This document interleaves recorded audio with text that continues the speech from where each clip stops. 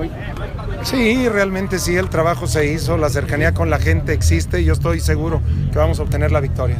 ¿Confía en el árbitro de la contienda? Sí, totalmente, yo soy un respetuoso de las instituciones y de la ley. Porque eh, unos candidatos al gobierno lo han descalificado por su aparente parcialidad.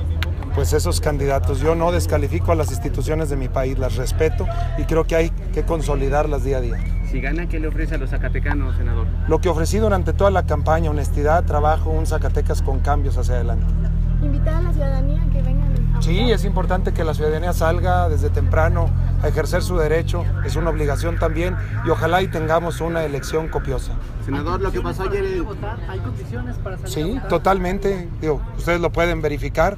Estamos en el centro histórico de la capital y hay todas las condiciones y así todos los reportes que tenemos de todo el estado es positivo. ¿Qué reportes tiene de incidencias de las fuerzas? A este momento no tengo yo en lo absoluto, en lo personal, ninguna. Lo que pasó ayer en Palacio Legislativo con esta quema de la puerta, ¿no amedrenta a los votantes hoy? Ojalá y no, ojalá y afortunadamente solamente se dio ese acto lamentable, pero esperemos esta jornada se lleve en paz, en tranquilidad y la gente vote.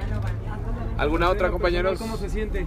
En lo personal muy contento, muy satisfecho, acompañado de mi familia, de mis presidentes de los partidos, Nueva Alianza Verde y el PRI, muy agradecido y agradecido con todos ustedes por esta cobertura. ¿Qué va a hacer después de, de haber votado, senador? Voy a desayunar aquí con mis papás, vivo aquí a tres puertas, toda mi vida aquí he vivido en esta calle, a estar con mis padres, con mi familia y esperar que transcurra el proceso en calma, en paz y los resultados a partir de las seis de la tarde. Respetará los resultados aunque no le favorezcan. Totalmente los voy a respetar y sí nos van a favorecer, estoy seguro. ¿Hay confianza en la sociedad y en las autoridades también electorales?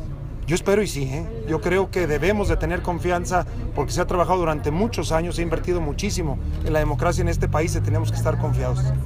Gracias, senador. Muchas gracias. compañeros, gracias. Micrófono.